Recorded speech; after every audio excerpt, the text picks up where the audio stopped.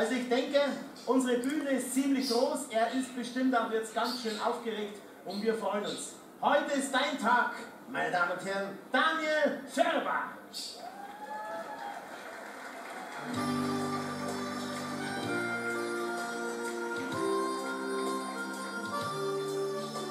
Und nach dem Abendessen sagte ich, lass mich doch eben Zigaretten hochgehen.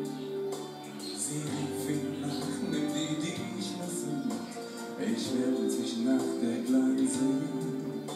Er zog die Tüte, ging still hinaus, ins neonhelle Treppenhaus.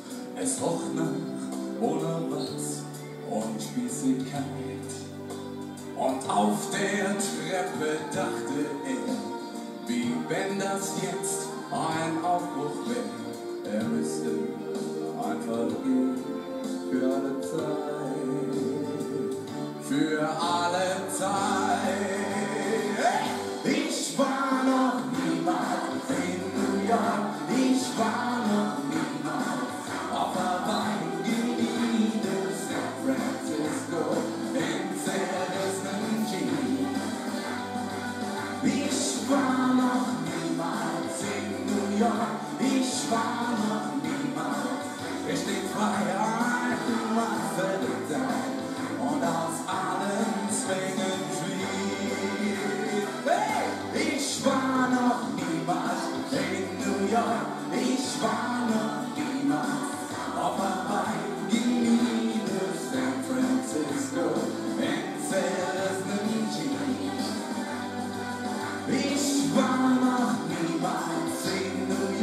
ich war noch niemals richtig frei. Einmal verliebt sein und aus allen Zwängen fliehen.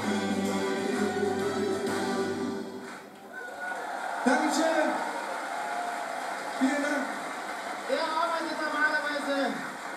Als Müllwerker bei den Stadtwerken in Koblenz. Wie war's denn? Schön, oder? Wahnsinn.